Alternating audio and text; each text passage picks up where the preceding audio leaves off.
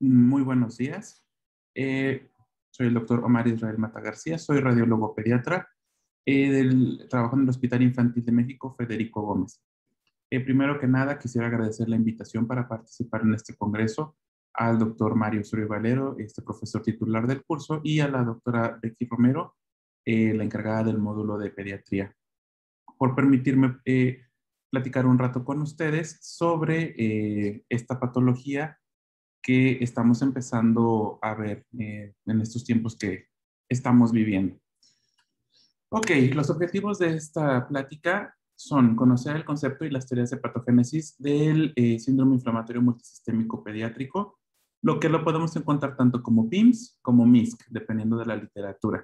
Definir los hallazgos por imagen que vamos a encontrar en esta patología y enfatizar el diagnóstico diferencial entre otras patologías y el PIMS. Bueno, el síndrome inflamatorio multisistémico pediátrico temporalmente se asoció a infección por SARS-CoV-2. Es una respuesta inflamatoria similar a la enfermedad de Kawasaki, de Kawasaki en su presentación típica o atípica y que se puede asociar con un choque tóxico. Este se va a presentar de los 0 a los 19 años de, de edad con una media de 8.4 años y no tiene una preferencia étnica. Sin embargo, los estudios han demostrado que este, que los pacientes eh, asiáticos tienen una menor prevalencia en comparación con los demás. Y además que los pacientes tanto de, eh, que son de descendencia eh, hispana o anglosajones tienen un poco mayor de predisposición a presentar esta patología. La Organización Mundial de la Salud define cada caso de un PIMS como niños adolescentes de 0 a 19 años de edad con fiebre de más de 3 días y por lo menos dos de los siguientes rash eh, o conjuntivitis este, bilateral no purulenta o signos de inflamación mucocutánea, eh, cavidad oral, manos o pies, hipotensión o choque, eh, disfunción miocárdica, pericarditis, valvulitis o alteraciones en las coronarias. de eso más que nada se va a ver en el ecocardiograma. Evidencia de coagulopatía por prolongación de los tiempos de coagulación o por elevación del dímero D. Eh, problemas gastrointestinales agudos como diarrea, vómito o dolor abdominal generalizado y difícil de localizar. Y marcadores elevados de inflamación como la velocidad de sedimentación globular, la proteína C reactiva o la procalcitonina.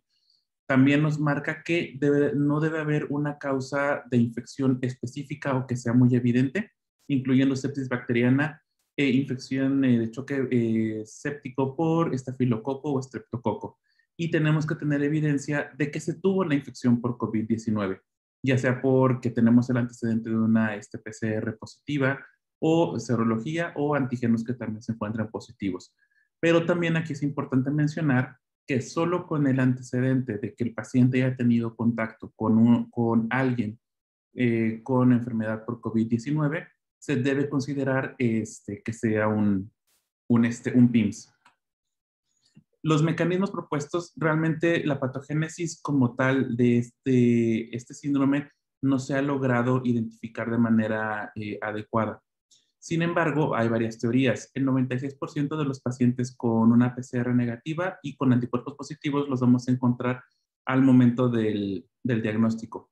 Eh, se ha visto que no es una infección activa por SARS-CoV-2, más bien es una reacción postinmunológica que puede ser exagerada que puede llegar a presentarse incluso eh, a las dos semanas de, este, de que terminó la infección por SARS-CoV-2.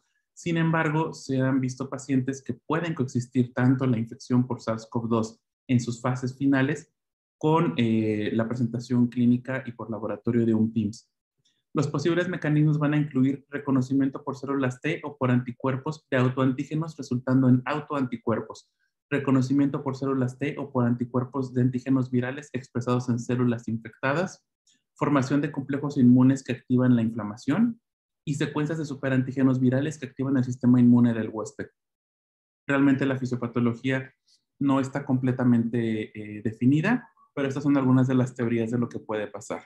Es decir, vamos a tener nuestra eh, infección por SARS-CoV-2, va a condicionar este, piroptosis y esta a su vez va a empezar a, este, a generar eh, ADN, este, RNA viral, interleucinas y este, el, va a quedar libre también el DNA del huésped. Lo que va a condicionar todo esto es que haya una inflamación local y se active toda la cascada de, este, inflamatoria. Eh, la proteína eh, Spike, que es la proteína con la que se une a las, a las células, el SARS-CoV-2, lo que nos va a condicionar va a ser que se van a activar genes inflamatorios, se va a activar una secreción exagerada de citocinas proinflamatorias, interleucina 6, interleucina 8, factor de necrosis tumoral, etc. Y esto nos va a dar eh, como tal las manifestaciones del, del PIMS o del MISC que son la fiebre, eh, aumento en los inflamadores, en los marcadores de inflamación, choque y las características de una enfermedad parecida al Kawasaki. Y al ser, una, al ser inflamatorio en todos lados, esto es lo que va a este, condicionar que sea un este, involucro multisistémico. Aquí podemos ver entonces que parte de los mecanismos propuestos para el PIMS es, un proceso, es posterior a un proceso infeccioso, una, eh, una tormenta de citocinas que es un poco retrasada y este, predisposición por eh, género y por etnicidad. Todo esto nos va a dar las manifestaciones este, eh, clínicas del PIMS. Hay algunos estudios que mencionan que se puede asociar con una carga viral muy elevada o este, con una respuesta inmune y con la respuesta inmune. Todo esto nos va a dar las manifestaciones que vamos a tener del PIMS o del MISC, que van a ser fiebre, la eh, inestabilidad hemodinámica, las este, alteraciones este, mucocutáneas, los síntomas gastrointestinales y el involucro cardíaco. Sin embargo, pues vamos a tener manifestaciones en todo el cuerpo. Las más comunes son manifestaciones, eh, vamos a ir viendo por aparatos y sistemas. Entonces, a nivel de tórax de pulmón, eh, lo que vamos a tener son opacidades bilaterales en un 47% y unilaterales en un 13%. Estas opacidades van a ser con predominio basal bilateral. Vamos a tener también engrosamiento peribronquial hasta en 58% de los casos, derrame pleural en un 11% aproximadamente, engrosamiento septal en un 2% y podemos tener una radiografía de tórax normal en un 18% hacer notar que no necesariamente podemos llegar a observar infiltrados en vidrio despulido, aunque también podemos encontrarlos dado el antecedente de la infección por el SARS-CoV-2. Entonces, en esta radiografía lo que podemos observar en este paciente en el que se le diagnosticó eh, PIMS, en general el parénquima pulmonar no se ve ninguna alteración, sin embargo, en el lóbulo inferior del lado derecho, lo que podemos encontrar es un engrosamiento peribronquial.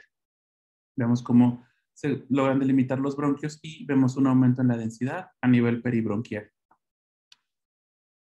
En este otro paciente lo que tenemos son la presencia de múltiples eh, zonas de infiltrado, además de un derrame pleural del lado, del lado derecho, así como múltiples áreas en donde podemos observar un aumento en la densidad como infiltrado que tiende a consolidar. En este otro paciente, lo que podemos encontrar es una alteración en donde el lóbulo inferior del lado derecho tiende a empezar a consolidar con un poco de pérdida de volumen del mismo lóbulo y vemos todo el infiltrado este, alveolar que empieza a tener este paciente. En tomografía, ¿qué es lo que vamos a encontrar? Bueno, pues vemos aquí el derrame pleural, lo podemos ver sin mayor problema, algunas áreas eh, de consolidación pero lo que nos llama la atención son todos estos engrosamientos que tenemos aquí. Así también lo que podemos observar en este, en este mismo corte, en este paciente, es el engrosamiento peribronquial, que lo podemos ver aquí. Vemos el bronquio y vemos un aumento en la densidad alrededor del trayecto del mismo. En este, en este caso también podemos observar algunos otros bronquios que presentan un poquito de engrosamiento de su pared y también vemos áreas de eh, consolidación que tienden a consolidar como opacidades, ya sean como atelectasias, pero también lo podemos ver eh, aquí un poquito más irregular y más amorfo, con tendencia a que parecer una, una neumonía. Asimismo, también podemos ver el derrame pleural eh, que tiene y todas las áreas de consolidación. En la radiografía abdominal eh, se puede tener hasta un 75% de que las radiografías sean normales y lo que podemos observar es un hilo dinámico en un 25% de los pacientes. aquí tenemos, por ejemplo, esta radiografía de abdomen de este paciente, en donde podemos observar una dilatación de asas intestinales que corresponden con intestino delgado. Tenemos un poquito de colon por acá, pero en general lo que más vemos es un, es un intestino delgado dilatado. Las asas tienden a estar centralizadas. Y también lo que podemos observar es eh, líquido, eh, edema interasa. No se observa realmente alguna otra alteración en este paciente. Sin embargo, esta es una radiografía de abdomen, de tórax, perdón, pero aquí lo que podemos observar también es como hay una dilatación de asas de intestino delgado. No vemos tantos niveles hidroaéreos en este paciente, solamente la, dilatación de las asas de intestino delgado. Y a diferencia del otro paciente, estas no tienen que estar tan centralizadas y no vemos tanto eh, líquido libre interasa como en el paciente anterior. Por ultrasonido y por tomografía a nivel de abdomen y pelvis, los hallazgos que más vamos a encontrar va a ser asitis en un 54%, engrosamiento de la pared vesicular hasta en un 23%, lodo biliar en un 15%, engrosamiento o inflamación de la pared intestinal en el cuadrante inferior derecho en un 23%. Usualmente lo que más vamos a ver involucro es el ilion terminal, el ciego y el colon ascendente. Y podemos observar una linfadenopatía en el cuadrante inferior derecho hasta en un 15%. Sin embargo, eh, cuando encontramos este, linfadenopatías, podemos encontrar ganglios prácticamente en cualquier parte del, abdomen. Entonces, aquí tenemos eh, por ultrasonido lo que podemos encontrar en cavidad pélvica, líquido libre, anecoico, homogéneo, eh, si realmente no pareciera, pareciera más líquido de reacción inflamatoria. Aquí tenemos otro paciente, está la vejiga, y tenemos líquido libre con un volumen de aproximadamente 22 mililitros. Tenemos también una vesícula biliar con su pared engrosada, edematosa. No se, eh, se alcanza a ver un poquito de lodo biliar en este paciente, sin embargo no se ven, no se ven, no se ven datos de litiasis. Y aquí tenemos otro paciente con una pared engrosada hasta 7.65 milímetros. También lo que podemos observar en las siguientes imágenes es que tenemos en fosa ilíaca derecha, el ciego está engrosado hasta 4.5 milímetros. Aquí tenemos el mismo paciente. En fosa ilíaca derecha vemos los vasos ilíacos y lo que podemos observar aquí es el apéndice secal, el cual se encontraba eh, de características ultrasonográficas normales. Aquí es hacer el hincapié en que estos pacientes eh, usualmente nos los mandan a nosotros de urgencias con datos de abdomen agudo a descartar apendicitis. Sí es importante que hagamos el diagnóstico diferencial entre un PIMS y una apendicitis porque pues, el tratamiento cambia bastante. Entonces, en este caso podemos ver cómo en el mismo paciente tenemos un colon que está muy, eh, con una pared muy engrosada, y se ve hipoecoica la pared, que se ve un poquito como mal definida las, las capas, sin embargo, podemos encontrar un apéndice que está prácticamente de características ultrasonográficas habituales. Aquí tenemos el mismo paciente a nivel de, hipogastrio en topografía del ilion terminal, que es lo que podemos observar. También un ilion terminal que está, la pared es hipoecoica, de predominio hipoecoico, con algunas áreas ecogénicas en su interior, lo que nos da un diagnóstico también de una ileitis terminal. ¿Qué más podemos observar? Si bien está descrito que el ilion terminal eh, y el ciego es lo que más se inflama en un, en un PIMS, también eh, aquí eh, rastreando el hígado, lo que hemos podido encontrar es que vemos estos duodenos. Vemos la primera porción del duodeno, se ve la pared hipoecoica, su mucosa y su luz. Sin embargo, podemos ver el grosor de la pared que en este paciente llega a medir hasta 3.2 milímetros y en este otro paciente que mide hasta 6.4 milímetros. Estas dos paredes están engrosadas eh, y pues también este, se confirmó en este paciente el diagnóstico de, de, PIMS. Así es que no solamente tenemos que buscar a nivel del ileón terminal. Aquí tenemos otro paciente en donde podemos observar el colon sigmoides, como se ve eh, también con la pared hipoecoica, con algunas áreas ecogénicas, que esto nos está indicando que tiene un cambios inflamatorios. Y también lo que podemos observar es un ganglio mesentérico que está aumentado de tamaño. La pared del colon en este segmento mide 6.2 eh, milímetros, lo cual también está engrosada. El resto del colon podemos observar aquí unas asitas de, de colon que se ven con aire, este, con gas en su interior. Sin embargo, sí es importante hacer notar todo el engrosamiento que tiene esta, esta, esta asa.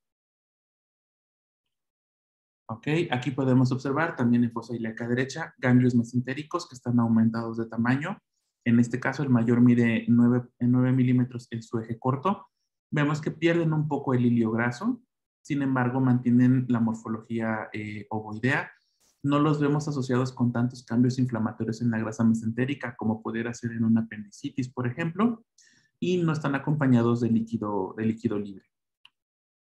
Aquí tenemos otro ganglio mesentérico que mide hasta 7.4 milímetros en su eje corto.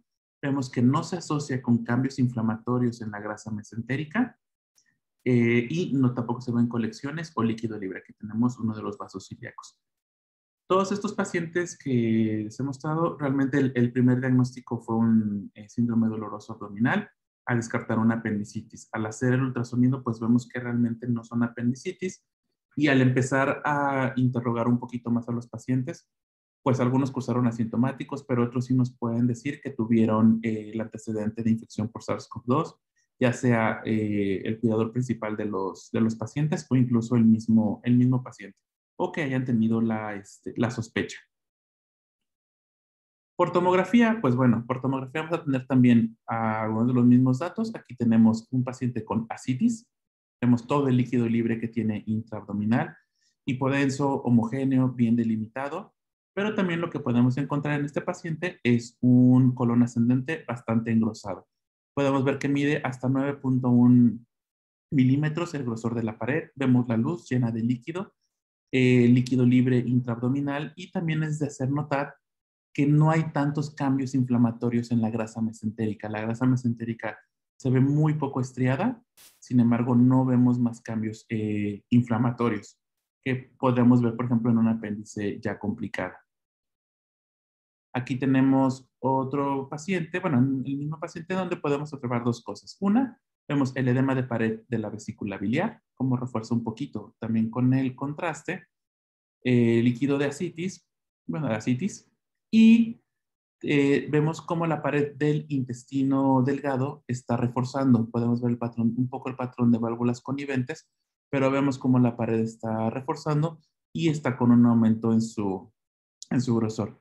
Aquí también es importante hacer notar que podemos observar el ciego que está aumentado de tamaño en su pared, igual que el ilion terminal. Logramos observar varias imágenes redondeadas y bien delimitadas que corresponden con ganglios mesentéricos, pero aquí algo importante es que aquí está el apéndice con un apendicolito y eh, no tiene tantos cambios inflamatorios. Es muy poquito lo que está reforzando. Si logramos observar, no hay grasa que esté estriada ni otras colecciones peri, este, periapendiculares, digo, hay líquido libre, pero se ve una pequeña calcificación, un apendicolito en la luz de esta imagen aquí podemos ver los ganglios mesentéricos, cómo están aumentados de tamaño. Aquí tienden a estar un poquito más redondeados. El apéndice con su apendicolito. Y en este paciente es importante que nosotros tenemos que checar eh, todo completo. tenemos que ver todo. Si bien se ve el hígado, eh, vemos el colon transverso, cómo se ve de morfología y la pared se ve normal. Sin embargo, si nos fijamos, el colon descendente está con la pared engrosada. Aquí podemos observar cómo el colon está con una pared engrosada, está irregular, bien definida. Y también podemos observar algo que es bastante eh, frecuente en los PIMS, es que por más que esté engrosada la pared, no vemos cambios inflamatorios en la grasa que está rodeando a esta pared. Entonces vemos la diferencia entre la pared del eh, colon transverso y lo que alcanzamos a observar de colon descendente. Así es que también podemos esperar que solamente algunas partes del intestino sean las que estén inflamadas y otras estén respetadas. Aquí también lo que vamos a observar es los cambios por la ileitis terminal. Vemos un ilion terminal gordito, edematoso, que está reforzando con el medio de contraste. Y podemos ver un ciego y un colon ascendente que también están reforzando con el medio de contraste. y se ven eh, edematosos y su luz bastante disminuida.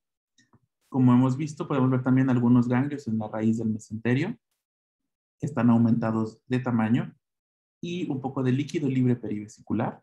muy, muy poquito se nota. Pero también aquí podemos observar cómo también está engrosado esta parte del intestino delgado. Vemos un intestino delgado que también está con aumento en el grosor de su pared y algunos ganglios mesentéricos. ¿Mm? Vemos, está todo, todo engrosado. Ok, aquí tenemos otros dos pacientes diferentes. Podemos ver un colon totalmente engrosado, irregular, mal definido.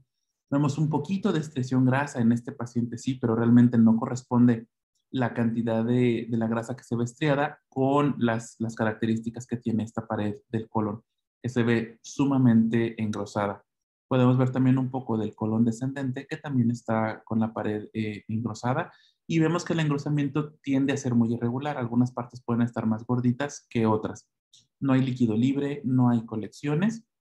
Y algo que también podemos eh, observar en estos pacientes que sí nos puede meter un poquito de, ruido es, por ejemplo, en el vaso, en este otro paciente, tenemos esta imagen redondeada, bien delimitada, que está más central eh, entre el polo inferior y la región interpolar del vaso. Eh, por imagen, pues bueno, esto resultó ser un, este, un infarto esplénico si bien no es la evolución, no es la, morfología habitual de un infarto esplénico, este, se debe considerar en los diferenciales, el otro es un absceso. En este paciente eh, se, hizo este, un estudio de ultrasonido de control, el cual demostró que no había ningún cambio, eh, que no se había modificado esta imagen, entonces se dio, se le dio seguimiento y se vio que era un infarto esplénico.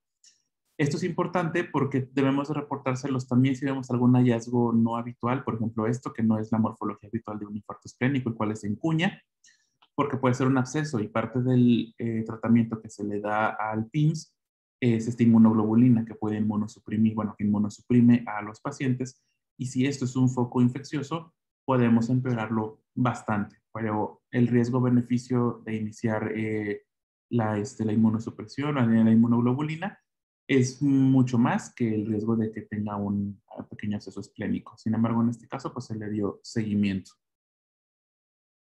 Entonces vemos también ganglios aquí aumentados de tamaño, grandotes. Y pues el infarto que ya les había comentado. En el encéfalo, en encéfalo, nuestros, los pacientes que llegan a tener alguna manifestación por PIMS, usualmente pueden presentarse como áreas de isquemia por vasculitis nos, puede ser eh, por vasculitis o por algún este, eh, trombo que pueda llegar a presentar. En este caso, tenemos una tomografía de cráneo contrastada en cortes axiales y coronales de la misma paciente, donde podemos observar la presencia de un infarto en topografía del lóbulo temporal del lado izquierdo. Vemos el edema perilesional, un muy discreto reforzamiento y algunas áreas este, hipodensas que corresponden con edema. Esta paciente, independiente, eh, aparte de su patología de base, podemos ver que el cerebro tiene muchos cambios por edema. Esta paciente progresó a muerte, desafortunadamente progresó a muerte cerebral, pero pues bueno, vemos algunos cambios que, eh, que, este, que se presentaron con ella. No tenía ninguna patología que sugiriera una, que tuviera eh, trombofilia o que tuviera alguna cosa que, la condicionara a que tuviera este, que podría causar eventos isquémicos, salvo el PIMS que se le, que se le diagnosticó. Entonces, la causa de, del infarto se atribuye al PIMS, a no haber otra, otra causa que justificara estos cambios. Tenemos otro paciente también con deterioro neurológico. Aquí podemos observar un involucro mucho mayor de un área de isquemia, tanto en la difusión como en sus cortes en T2, donde podemos observar toda el área de isquemia que compromete tanto el lóbulo occipital como el lóbulo eh, temporal. Aquí están comprometidas las dos circulaciones, tanto la circulación media como la circulación de la arteria cerebral posterior. Esto también es eh, un, hallazgo secundario, una vasculitis secundaria a, PIMS. No se demostró ningún otro factor de riesgo en estos pacientes. A nivel de corazón, eh, realmente a nivel de corazón vamos a encontrar también algunos hallazgos que son importantes, pero sí tienden a ser un poco variables el porcentaje de presentación de los mismos. Vamos a tener derrame pericárdico, aneurismas de las arterias coronarias, que aquí es importante mencionar que estos aneurismas tienden a ser transitorios y a mejorar eh, con, el, con el tiempo. Regurgitación valvular, miocarditis y eh, disminución en la función miocárdica. Lo que nosotros vamos a encontrar con mayor frecuencia va a ser el derrame pericárdico, que es lo que vamos a ver un poco más fácil en estudios por imagen, ya sea en tomografía o incluso en un ultrasonido cuando estamos revisando el abdomen. Lo que podemos observar es, una, este, es un derrame pericárdico.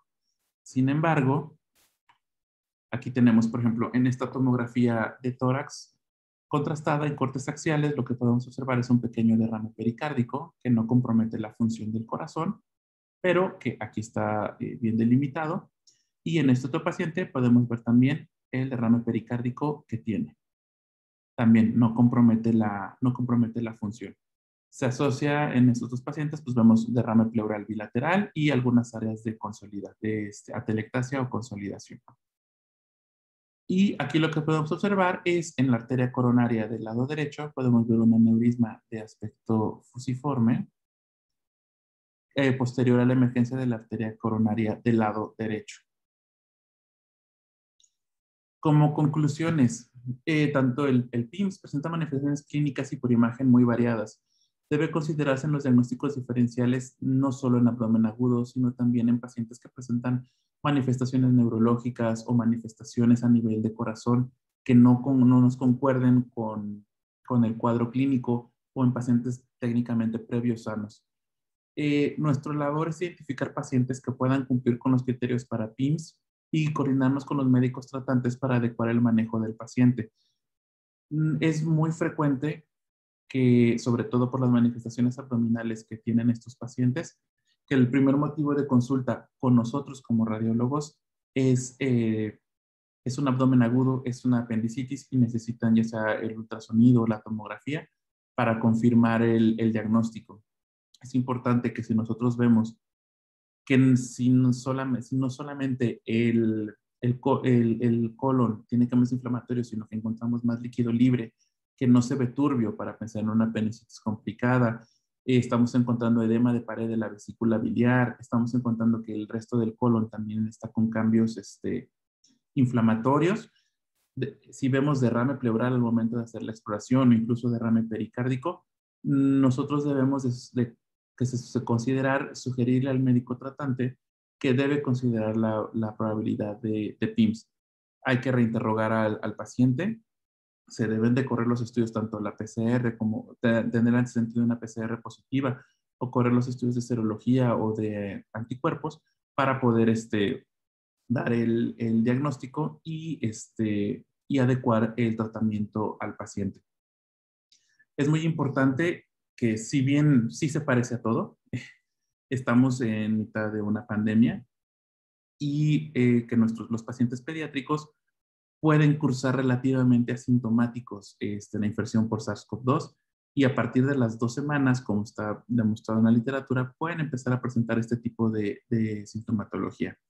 Es importante también mencionar que igual pueden tener leucocitosis, este, puede simular completamente un, un, apéndice, pero en algunos pacientes sí tenemos también nosotros que tener un poco de alto grado de sospecha para poder este, diagnosticar esto. Y si nos piden un apéndice, si podemos hacerlo, rastrear todo el abdomen, porque como vimos, la mayoría de las, eh, de las manifestaciones son a nivel abdominal.